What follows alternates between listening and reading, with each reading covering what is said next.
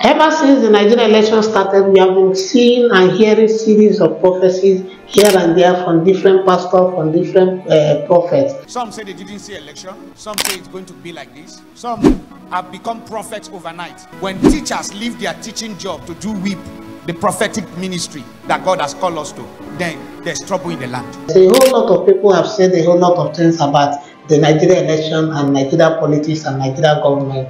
But there is this particular one I want you to watch right now. It is coming from the major prophet. In this video, he has revealed that there is going to be an overthrown and overrun of the current Nigeria government. This is a very serious statement. If you have been following what is happening in Africa right now, you see that there is a lot happening in different countries, especially in the francophone uh, countries. We have heard that there have been an overthrow of government in Burkina Faso. There have been an overthrow of government in uh, Niger Republic. So a lot is happening right now. And now the major prophet is saying that the current Nigeria government will be overrun that they will overthrow them. So I'm not going to just speak much about it. I will allow you watch this video and then let me know what you think about this in the comment section. Then I will come back and then share some certain things with us. Watch this video. Shocking takeover. What is this takeover all about? What is it takeover all about? Something that is kept on coming to me coming to me as I began to look at the spiritual world. The Lord kept on showing me something and said, The people of Nigeria should, as quick as possible, go into what's called prayer. Pray because I am seeing what's called shocking command and what's called what's called so, so what's called what's called what's called what's called run over and what's called what's called what's called take it over. Maradika prontos ligatakus kaparakata I'm not in the business of long story. I'm in the business of what's called what is written is written. Because what is written is written. And what is written can only be raised by somebody that dictate it. Say, what shall be done? What shall be done? What shall be done? When the king called the prophet, he said, Prophet of God, what shall be done? And the prophet of God said to the king, Long live the king. This is what to be done. This is what to be done.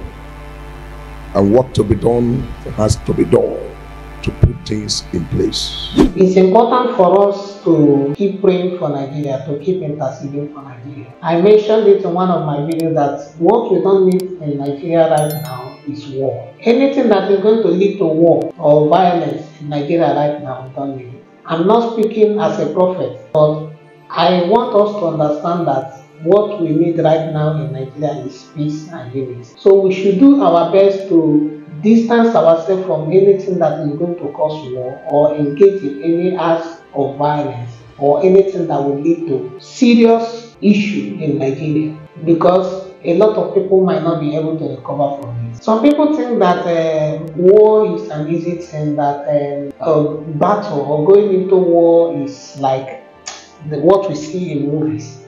It's not like that. This is not a case of uh, Jet Li, one man beating 200 people.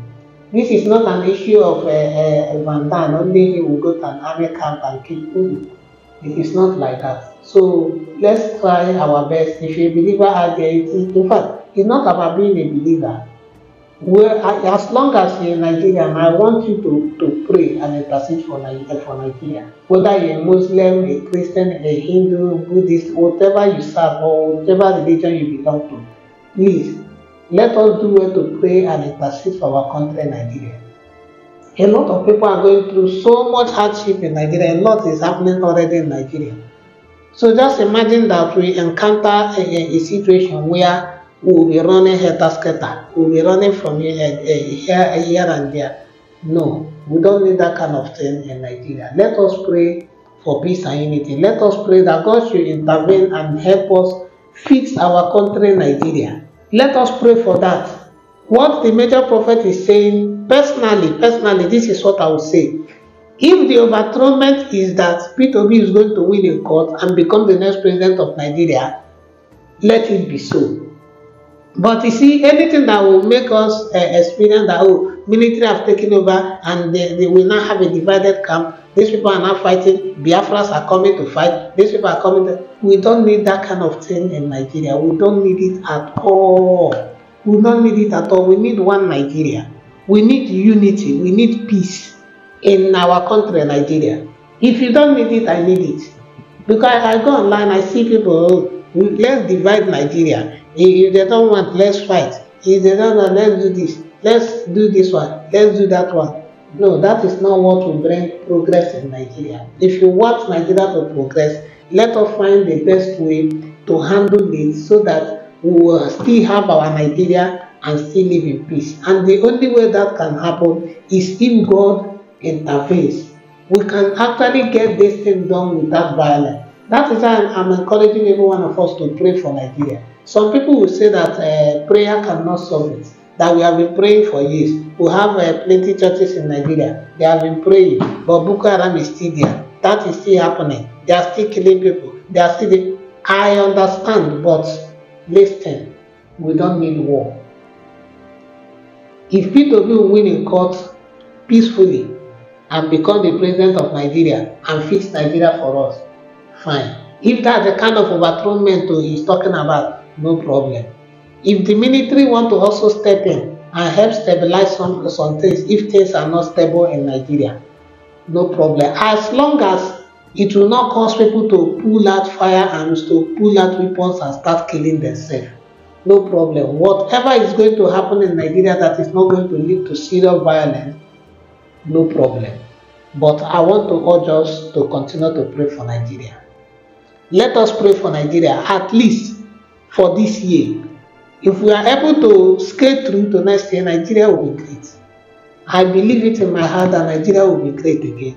I know it that Nigeria will be great again. So let us continue to pray for Nigeria. Let us continue to intercede for Nigeria. Intercede for our leaders. Pray for them that God should give them the wisdom to do things right.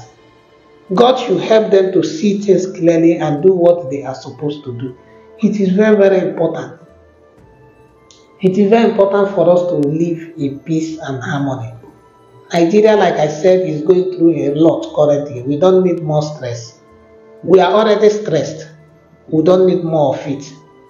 We don't need more of it. So let us continue to intercede for our beloved country, Nigeria. And as you do so, God will surely continue to direct your path and lead you through the path that is going to help you recover from whatever you have lost and put an end to whatever it is you are going through. I know it is not easy to be in Nigeria right now. It is not even easy to be a Nigerian. It, it, it is not easy to live in Nigeria. It is not easy at all. Things are tough. Things are hard. I even heard that dollars have climbed to 900 per dollar. Just, just imagine.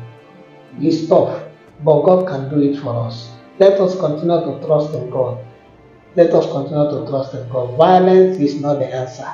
War is not the solution to anything, uh, to any problem. War is not the solution. So let us continue to pray that God intervenes and help us fix our beloved country, Nigeria. Thank you so much for watching this video. Please don't forget to subscribe to the channel, on your notification bell so you'll be notified whenever I post another video. I will see you in the next one. You are blessed.